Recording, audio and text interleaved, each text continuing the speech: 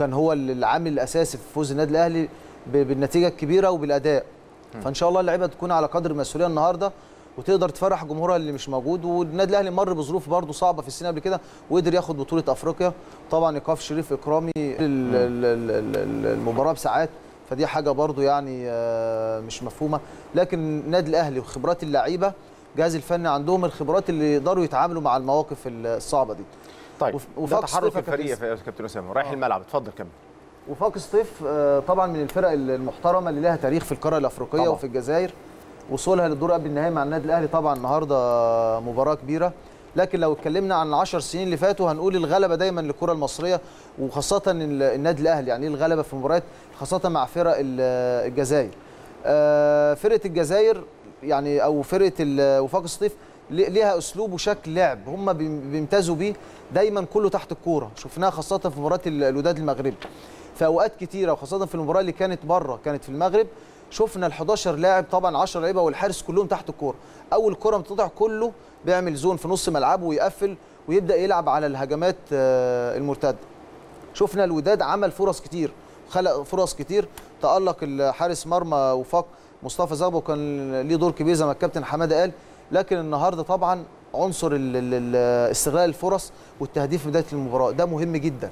النهارده ما اخدش المباراة تفضل أضيع فرصة في الثانية في الثالثه لا النهارده اللي اللي, خلى النادي الأهلي يتفوق في مباراة الحرية إنك قدرت تحرز هدف بدري. ده سهلك المباراة. خرجت الشوط الأولاني على ما أعتقد كان 2-0 ده سهل المباراة واتى المباراة بشكل كبير. صحيح. النهارده النادي الأهلي استغلال الفرص ليه دور مهم جدا. فرقة وفاق سطيف برضو من الفرق اللي عندهم خبرات إزاي بيكسروا رتم الفرقة اللي قدام. النادي الأهلي عنده الريتم السريع وهو ممتاز بعملية الاستحواذ والريتم السريع. هو هيحاول في وقت من الأوقات هتلاقي في لعيبة بتوع بتعطل الوقت بتعطل اللعب عشان دايما يكسر رتم اللعب. انت لا لازم دايما الكره تتحط ألعب بسرعة. ما ينفعش النهارده لازم أنوع هجماتي. ما, ينف... ما يفضلش كل الشغل من العمق اللي ممتاز بيه النادي الأهلي لا لازم النهارده الأطراف عليها دور مهم جدا النهارده. خاصة إن شاء الله لو نشوف التشكيل. علي معلول وأحمد فتحي لأطراف أو وليد سليمان من بره مثلا أو كان إسلام محارب أو هنشوف حمودي ولا زكريا. لازم النهارده الأطراف لو اشتغلت بشكل كويس النهارده هيكون ليها دور إن شاء الله في حسم المباراة.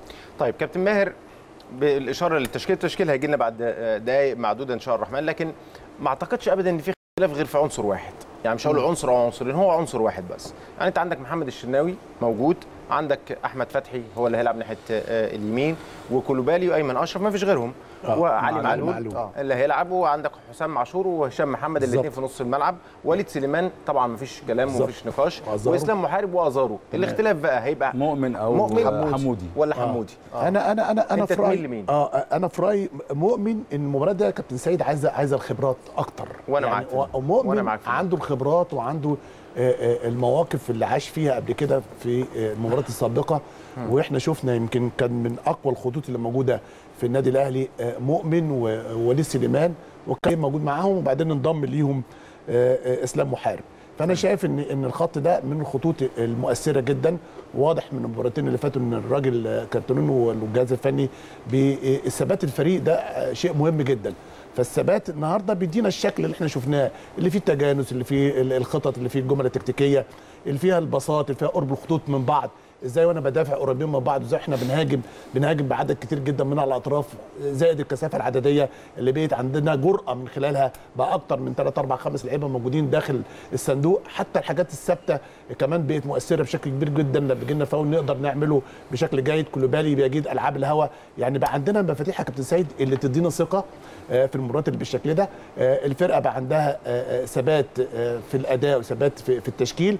النهارده نتمنى بقى إن شاء الله بإذن الله إن إحنا نشوف مفاتيح اللعب اللي موجودة آه، في النادي الأهلي زي النهارده أحمد فتحي يكون في حالة آه، إن شاء الله موفقة زي المباراتين اللي فاتوا. علي معلول كمان آه، من ضمن الح- الح- الحالات الثابتة اللي بتأثر بشكل كبير جدا في انطلاقات الأطراف آه، مع النادي الأهلي. الربط اللي بين بقى أحمد فتحي ومؤمن آه، آه، أو إسلام لو لعب في المكان ده والربط اللي بين علي معلول ومؤمن زكريا من ناحية الشمال.